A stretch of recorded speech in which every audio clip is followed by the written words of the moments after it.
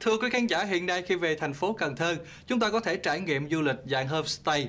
Mỗi nơi, các chủ nhà nghỉ sử dụng nhiều vật liệu khác nhau để làm phòng nghỉ, như phòng nghỉ làm bằng tre, bằng xe tải, container, nhưng chưa ai làm phòng nghỉ từ xe quân sự.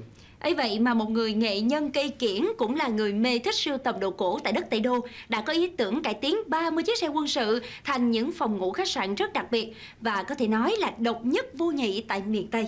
Để có thể sở hữu ba phòng ngủ đặc sợ chắc lính như thế này, ông Nguyễn An Hà đã cải tiến 30 chiếc xe quân sự thời chiến tranh để phục vụ du khách. Chủ nhân của những phòng ngủ có 102 này cho biết, trước đây ông đi du lịch nhiều nơi, trải nghiệm nhiều chỗ nghỉ theo dạng homestay khác nhau, nhưng chưa ai làm phòng nghỉ từ xe quân sự. Lý do tại sao mà anh à, lại có sở thích như thế này ạ? Ờ, sở thích uh, sưu tầm đồ cổ và kỷ vật chiến tranh thì nó đã từ lâu rồi nhưng lý do chính là vì cái yếu tố là truyền thống gia đình à, gia đình thì bà nội anh là bà mẹ Việt Nam anh hùng. Thì có hai người chú bác hy sinh trong chiến tranh. Và ba anh cũng làm bộ đội tham gia từ thời chống Pháp cho đến chống Mỹ. Thì vì lý do đó mình cũng muốn tạo dựng lại những cái hiện vật những cái kỷ niệm để uh, những người lớn tuổi một thời trong gia đình một thời đã đi qua thì cũng gợi nhớ về những cái kỷ niệm hào hùng đó. Lý do đó là mình phục dựng mình làm lại những cái kỷ vật chiến tranh. Cũng theo ông Hà, đây là những chiếc xe quân sự thuộc hãng GMC Mỹ có chức năng làm nhiệm vụ thông tin liên lạc.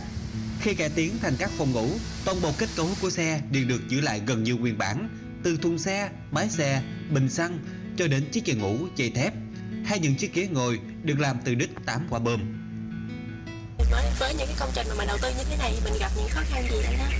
khó khăn là mình là nhà sưu tập thì mình muốn phục chế nó gần như nguyên bản tất cả mọi thứ là mình phải sưu tầm những cái cái cái thiết bị những cái vật dụng trong đó đều gần như là kỹ vật chiến tranh hết là gắn liền với cái cái cái xe gắn liền với cái sự kiện đó. Từ lá cờ từ những bù lon con tán đến tới vỏ bánh xe mặt nạ đồng hồ tất cả thứ là đều nguyên bản hết. Cái đó nó làm cho mình mất rất nhiều thời gian. Lý do như vậy là sau 2 năm mới hoàn thành được cái ba cái phòng nghỉ bằng xe như thế này. Ông Hà cho biết, trong các chiếc xe ông đấu giá được, ông tin chắc rằng có những chiếc xe đã vượt chạy ở Trường Sơn. Đặc biệt hơn có một chiếc xe đã tiến vào dinh độc lập vào sáng ngày 30 tháng 4 năm 1975, giây phút lịch sử của đất nước Việt Nam.